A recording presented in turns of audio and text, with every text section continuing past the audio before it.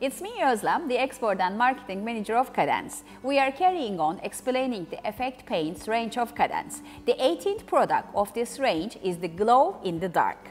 Glow in the Dark is a water-based and non-toxic paint. It is certified according to Euronorm 71 and CE norms, which you can use safely with your family and the kids. Also, the quality of the products are confirmed by international rewards. Glow in the Dark is a unique paint that absorbs the light and glows in the dark. After a while, the glow effect can fade and at that time you need to recharge it with the light. When you are working with the glow in the dark, as Cadence, we are recommending you to use the base coat from the premium acrylic.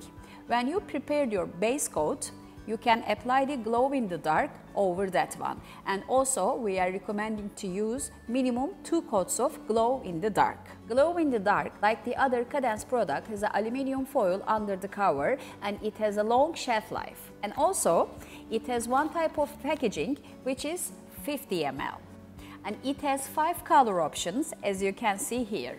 It is very suitable for your art and craft projects and also can be applied for all hard surfaces, but it is the best choice for the kids' room's decoration. When you finalize your project, it's not possible to see the real effect in the daylight, but when it gets darker, you can see the glow effect clearly in the dark places. Now, let's pay attention to the application.